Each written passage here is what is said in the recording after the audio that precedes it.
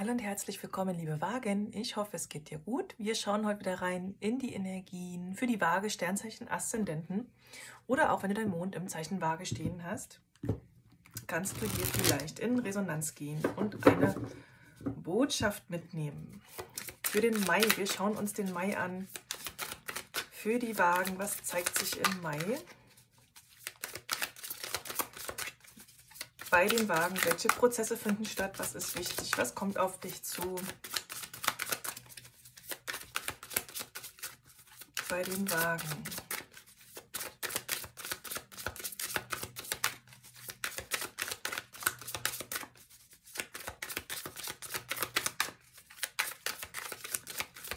Wagen im Mai. So, schauen wir mal rein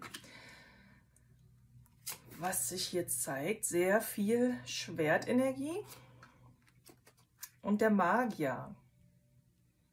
Die Königin der Schwerter, die zwei der Schwerter, hier sehen wir zum einen sehr viel Initiative und Schöpferkraft hier.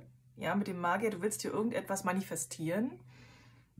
Du gehst in die Initiative, du nutzt jetzt deine Fähigkeiten, deine Talente, um ein Ziel zu erreichen. Du willst irgendetwas erschaffen, schöpfen. Ja, das ist die Schöpferkraft, die ähm, auch zeigt, dass sie die Macht über ihr Leben hat, dass sie eigenverantwortlich handelt, dass sie in der Lage ist, Dinge zu erschaffen und ihre Wünsche zu verwirklichen. So, dann haben wir hier aber auch Zweifel, ja, so eine innere Unsicherheit, so ein Hin- und Hergerissen sein. Irgendetwas bereitet die hier ganz äh, viel innere Zweifel. Da kann man sich nicht entscheiden. Ja, und die Königin der Schwerter, das ist für mich eigentlich eine typische Waage-Energie. Das kann es jetzt du sein, es kann aber auch ein Gegenüber sein. Es ist auf jeden Fall hier eine Person, die sehr kühl, sehr ähm, distanziert auftritt. Also vielleicht hast du dich hier von irgendjemandem oder etwas distanziert oder ein Gegenüber hat sich von dir distanziert, das sehr stark hier im Kopf ist und analytisch, prüfend, beobachtend. Da ist jemand sehr strategisch, hellwach und fokussiert. Ja, da geht jemand sehr ähm, analytisch vor und möchte hier Klarheit schaffen. Deswegen die Distanz. Aber wir sehen hier eben auch den inneren Zweifel. Das sind ja Energien, die sich ja auch ergänzen. Ja, also diese Königin der Schwerter, die ist sich noch nicht richtig im Klaren. Die ist noch am Überlegen. Vielleicht hast du aber auch Zweifel bezüglich dieser Person, falls das ein Gegenüber sein sollte. Das kann auch sein. Hier geht es darum, ähm, es geht ja auch um, ein, um, um die Unabhängigkeit. Königin der Schwerter steht eben auch für die eigene Unabhängigkeit, dass die hier, dass man versucht, diese herzustellen, gerade auch in Kombination mit dem Magier. Ja, Freiheit, Unabhängigkeit ist ja auch ein Thema und eben auch ein starker Fokus auf deine Ziele, deine Visionen, das, was du jetzt möchtest. Das ist wichtig. Damit beschäftigst du dich sehr stark, aber bist auch stark am Zweifeln. Was ist denn hier blockiert? Was würde denn hier helfen? Ja, die Intuition ist versperrt natürlich und das ist ja auch immer bei den zwei der Schwertern so. Wenn die zwei der Schwerter auftaucht, dann ist die, die Frau hat ja die Augen verbunden und das hat sie deshalb, weil sie ihre Intuition wahrnehmen soll, aber sie nimmt sie nicht wahr und deswegen weiß sie nicht, wie sie sich entscheiden soll. Also das ist halt die versperrte innere Stimme. Und die Hohepriesterin hier, das heißt jetzt nicht, dass du gar keine Intuition hast, sondern dass du diese Stimme entweder nicht wahrnimmst oder ihr nicht vertraust.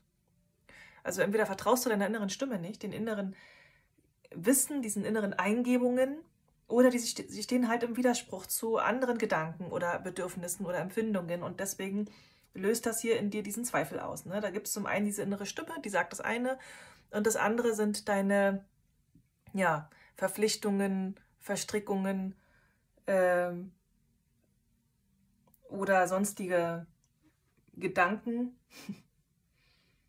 Abhängigkeiten oder ja, Wünsche, es jemandem recht zu machen, was auch immer hier diesen Konflikt in dir auslöst. Das weiß ich nicht, aber deine Intuition ist da und da darfst du vertrauen lernen. Und du darfst in deine Kraft kommen. Hier sehen wir nämlich mit der Kraft im Schatten, dass du irgendetwas in dir unterdrückst, irgendwelche Instinkte, Impulse, Emotionen in dir werden entweder nicht wahrgenommen, werden zu stark unterdrückt oder aber das andere Extrem, es kann auch manchmal sein, dass man von gewissen niederen Instinkten kontrolliert wird. Also dass du dich zum Beispiel von deinen eigenen Emotionen hin und wieder beherrschen lässt. Auch das wäre möglich. Aber grundsätzlich geht es bei der Kraft darum, in die eigene Kraft zu kommen, indem man seine eigene Instinktnatur annimmt, so wie sie ist. Also indem du dich in deiner Ganzheit mit all deinen Bedürfnissen annimmst und nichts in dir unterdrückst. Ja, das ist hier so das Ziel dieser Energie. Zwei der Stäbe zeigt auch hier, dass, naja, das sind so deine Wünsche, Visionen, Ziele und Träume. Und hier sehen wir aber, dass du diese nicht umsetzt, sondern dass man hier sehr neutral und beobachtend ist, sehr abwartend.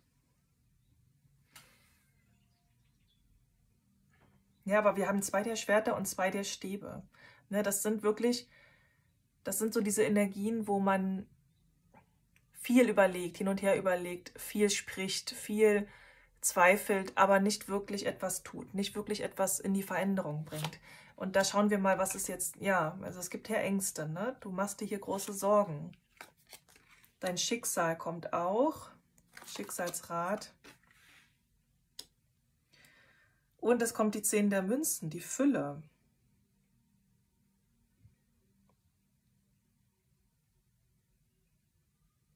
Die Fülle, die Zehn der Münzen.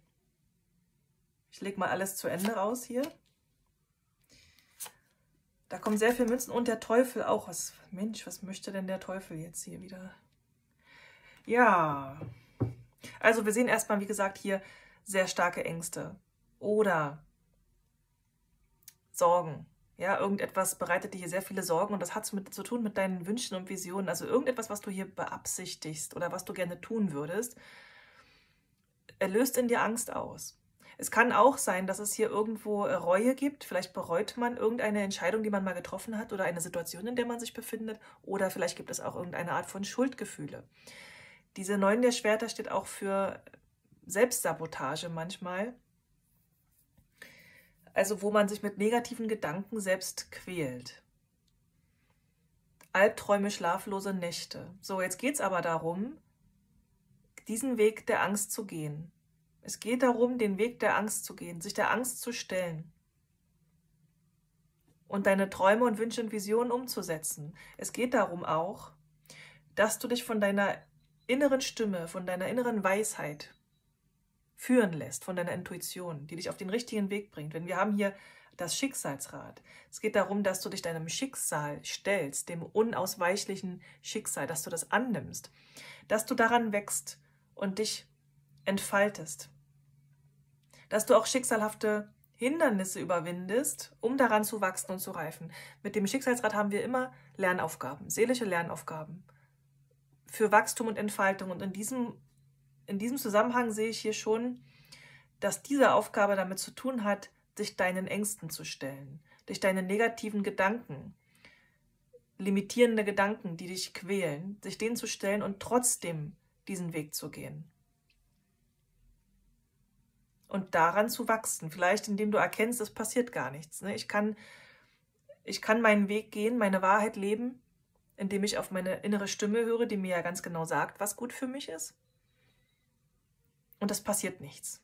Ne? Das ist nur eine Angst. Die Angst ist nur eine Illusion. Das sind einfach nur Gefühle. Manchmal ist es auch einfach nur die Angst vor der Angst. ja, manchmal sind es unbegründete Sorgen. Denn hier haben wir die Fülle. Wir haben hier die Zehn der Münzen die zeigt, dass es hier, du darfst dir anschauen, den Reichtum, die Fülle, die du hast, dankbar sein für das, was du hast. Du darfst dich für die Fülle öffnen, die dir geboten wird, die da ist. Wir haben hier Fülle und Stabilität und Reichtum. Ich weiß jetzt nicht, ob die Fülle auf dich zukommt, dass du hier irgendwie ein Geschenk bekommst oder ähm, also materielle Fülle sehen wir hier. Es kann aber auch einfach sein, dass die Sicherheit da ist, dass hier feste Strukturen auch äh, da sind. Wir sehen ja hier auch die Königin der Münzen, vier der Münzen. Also wir sehen hier auf jeden Fall Sicherheit und Stabilität. Die, die, die haben wir hier. Vielleicht gibt es ja auch einen, familiären Rückhalt oder ja, es gibt auf jeden Fall genug für genug Dinge, die dir Stabilität und Sicherheit bieten und wo du dankbar für sein kannst. Und das sind auch Werte, die du hier schützen darfst, die du auch, die du auch versuchst festzuhalten und zu schützen. Das sehe ich hier auch. Na, die vier der Münzen, das ist, man hält fest an gewissen Sicherheiten, man trifft hier Vorkehrungen, Abmachungen, vielleicht versuchst du hier auch ähm, dein Vorhaben durchzuziehen. Ja, also du, entweder hältst du an einem Vorhaben fest, an deinem Plan oder an gewissen materiellen Sicherheiten oder Strukturen. Irgendetwas willst du hier absichern. So, und die Königin der Münzen ist eine Energie auch, wo du jetzt reinkommst, wo du jetzt im Mai drin bist. Das heißt, du setzt dich jetzt stark mit deinen Werten auseinander. Was sind deine Werte? Versuchst dich abzusichern, auch in die Fülle zu kommen, an deinem Wohlstand zu arbeiten, Grenzen, du setzt Grenzen, du kennst deinen Selbstwert. Fülle, Sicherheit, das ist hier ganz äh, wichtig. Und du genießt. Du genießt deine Zeit, dein Leben, ne? die Fülle, die du hast.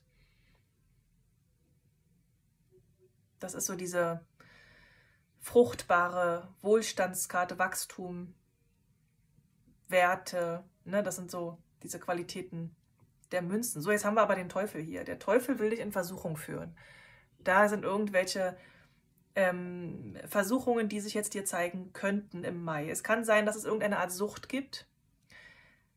Ähm, es kann sein, dass es eine Versuchung gibt. Es kann sein, dass es eine Abhängigkeit oder eine Verstrickung gibt oder irgendwelche Erpressungsversuche oder irgendetwas, was mit Manipulation und ungesunden, destruktiven oder toxischen Verhaltensweisen oder Mustern oder Einflüssen, Fremdeinflüssen hier zu tun hat.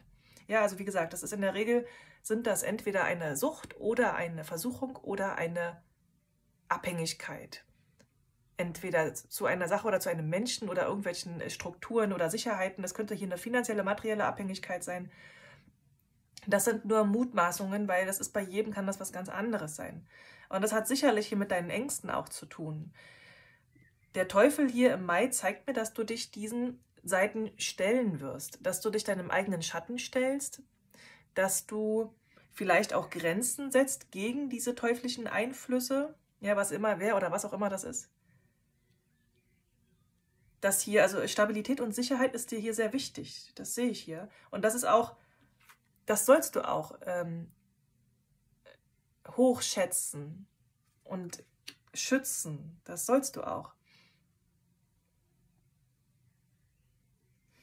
So, nun kann es aber auch sein, dass es irgendwelche Strukturen gibt, an die man hier festhält, weil wir auch die vier der Münzen haben neben dem Teufel. Es kann sein, dass es hier irgendwelche toxischen, bei dem einen oder anderen könnte das irgendeine toxische Verbindung sein, wo man dran festhält. Ja, wo es aber jetzt darum geht, hier Grenzen zu setzen und nach deinen Werten zu leben, dich hier nach deinen Werten zu orientieren, in die Fülle zu kommen und Stabilität. Wie gesagt, das ist äh, ja geht hier um deine Selbstverantwortung, Eigenverantwortung. Geh in die Führung für deine Werte. Setze dir ein Ziel. Das ist hier ganz wichtig. Was sind deine Ziele und deine Werte? Das sind die beiden. Der Herrscher und die Königin der Münzen. Stehe für dich ein, arbeite diszipliniert an deinen Zielen, geh in die Eigenverantwortung. Sorge für klare Verhältnisse, für Recht und Ordnung. Ne, die Vier der Münzen ist eben auch die Karte, die für Abmachungen sorgt. Für, äh, dafür, das hat damit zu tun, dass du deine Sicherheit hier schützen möchtest und dich absichern willst. Und das macht auch der Herrscher. Auch der sorgt für klare Verhältnisse, Absprachen, Recht und Ordnung. Und das ist auch eine äh, Erdenergie hier. Sonne im Steinbock. Für manche ist das die Widderkarte, für mich nicht. Ja, also Verantwortungsbewusstsein. Du gehst in die Führung.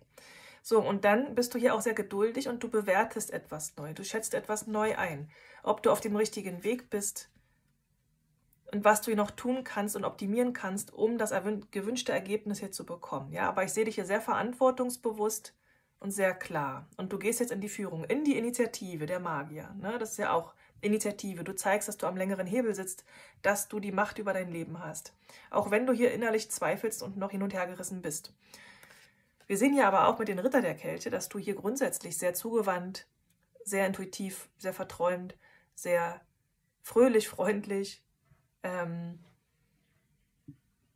ja, aufs Leben zugehst. dass du hier hoffnungsvoll und zuversichtlich bist.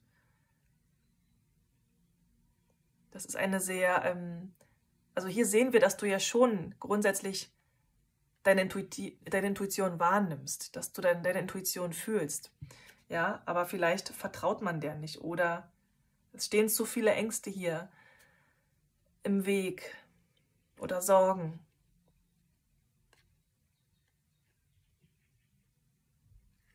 Ja. Dann schauen wir mal rein mit den Orakelkarten jetzt für die Wagen. Also das Schicksalsrad hier an dieser Stelle ist ganz kleine Aufforderung. Geh den Weg der Angst, stell dich deiner Aufgabe und geh jetzt in die Veränderung. Wachse an der Aufgabe, ja, entwickle dich daran und stell dich nicht gegen die Veränderung, sondern schwimme mit dem Fluss, deine innere Stimme, der Sog, der innere Sog, der dich energetisch zieht in eine Richtung. Das ist der, der mit deinem, der schicksalhaft gelenkt ist und den du jetzt folgen darfst. Eine Aufgabe, an der du wachsen darfst, dich entwickeln. Stell dich dieser seelischen Lernaufgabe. Und das hat mit deinen Ängsten zu tun.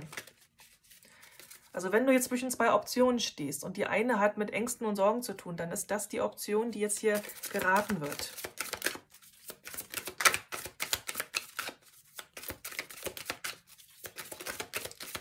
Also nicht immer ist eine Legung so eindeutig. Ja, diese ist hier besonders eindeutig.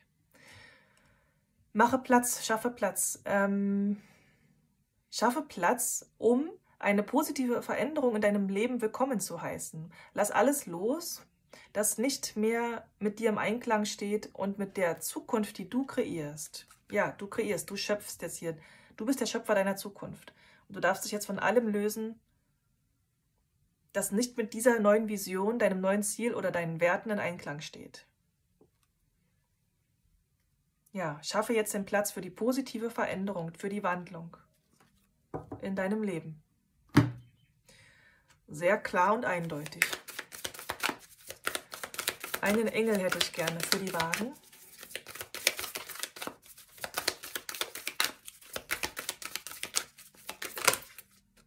Ja, das war so halb.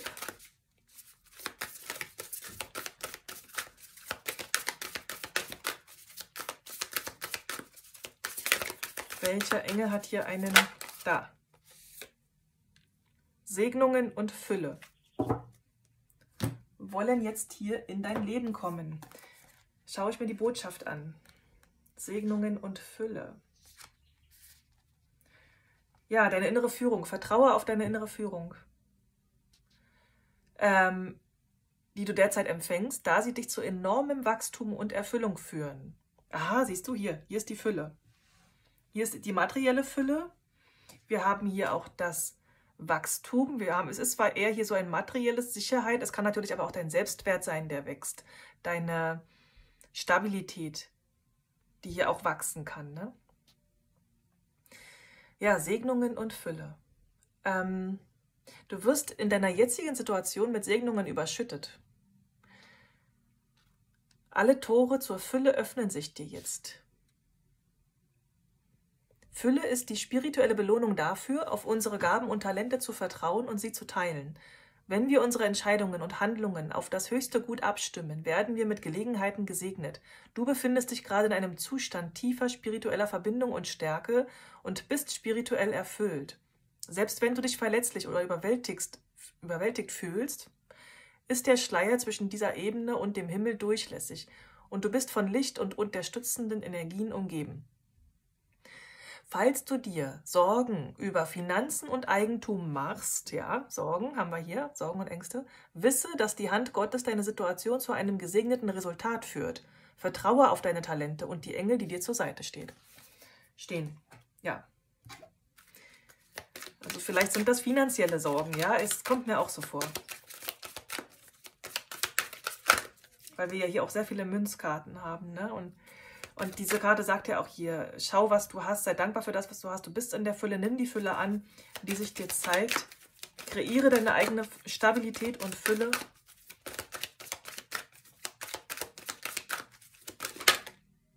Naturverbundenheit. Ich achte und schütze die Natur, denn ich bin ein Teil von Mutter Erde. Ja, die Königin der Münzen ist natürlich auch sehr naturverbunden. Die Erdenergie. ja, vielleicht Pachamama. Vielleicht darfst du dich ja ein wenig erden, auf deine Grundbedürfnisse achten, dich mit der Natur verbinden, dich gut ernähren, alles genießen, was die Natur zur Verfügung stellt, Achtsamkeit. Und dich für die Fülle öffnen, die dir die Natur entgegenbringt auch. Also das ist ganz die Königin der Münzen hier auch. Unschuld, Vergebung, sei sanft zu dir selbst. Vergib. Vergib dir. Vergib vielleicht auch anderen. Ja, sei dir deiner Unschuld bewusst und verurteile dich nicht selbst. Manchmal sind wir selbst unser eigener stärkster Kritiker. Ne? Wir sehen ja hier dieses Gedankenkarussell. Es kann sein, dass du dich hier selbst, wie gesagt, Schuldgefühle ist bei einigen hier auch, kann es ein Thema sein. Ängste, Sorgen oder eben auch, ähm, ja, also dann in diesem Fall darfst du dir selbst vergeben, sehr gut zu dir, verurteile dich selbst nicht. Ui. Du bist unschuldig.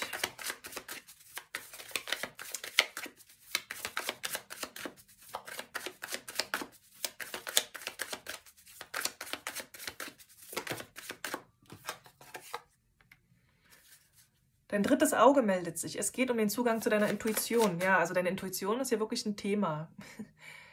Also hier heißt es, du bist stark verbunden mit deiner Intuition. Höre auf deine Intuition. Ich habe vorhin gesagt, dir fehlt der Zugang wahrscheinlich oder du hörst die Stimme nicht so gut oder du vertraust ihr nicht. Ähm, deswegen nochmal der Hinwe Hinweis, dass du deinen Zugang zu deiner Intuition stärkst. Denn die innere Führung ist jetzt wichtig, die weist dir den Weg. Also vielleicht darfst, kannst du da daran arbeiten, an deinem Stirnchakra, wenn dich das interessiert, oder einfach versuchen, deine Intuition stärker wahrzunehmen. Vielleicht auch, indem du mehr in die Natur gehst, mehr in die Verbundenheit kommst mit Mutter Erde. Ja, in die Stille, in die Meditation. Dann vernimmst du deine innere Stimme am leichtesten, wenn du innerlich gedankliche Ruhe, gedankliche Ruhe bekommst und dich nicht von diesen ganzen Sorgen und Ängsten quälen lässt. Ja? Erwartungen. Erwartungen lassen dich warten. Wo wartest du? Lass deine Erwartungen los und tauche ein in das Spiel des Lebens.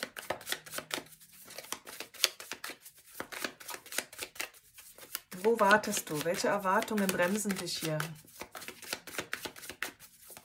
Lasse die Erwartungen los. Und, wenn alles möglich wäre, was würdest du tun? So oft wissen wir, was wir nicht wollen, aber nicht, was wir wollen. Wie hättest du es denn jetzt gerne? Ja. Also nochmal, was ich schon sagte. Fokussiere dich auf deine Ziele, deine Wünsche, deine Visionen und Träume. Was ist es, was du möchtest? Komm weg von dem Gedanken, dich damit zu beschäftigen, was du nicht möchtest, sondern fokussiere dich dahin auf das, was du möchtest. Das ist der Magier, das ist Schöpferkraft, das ist der Herrscher. Das ist genau das. Setz dir ein Ziel und dann fange an, die ersten Schritte zu planen und zu setzen, zu unternehmen, Schritt für Schritt in die Richtung. Ja, wie hättest du es gerne?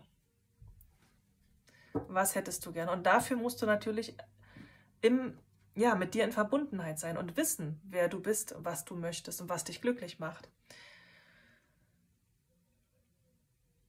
Ja, und dann kannst du auch diesen teuflischen gegen, äh, Einflüssen hier gegenüber dich besser abgrenzen, besser Grenzen setzen und auch erkennen, was macht dich hier unfrei?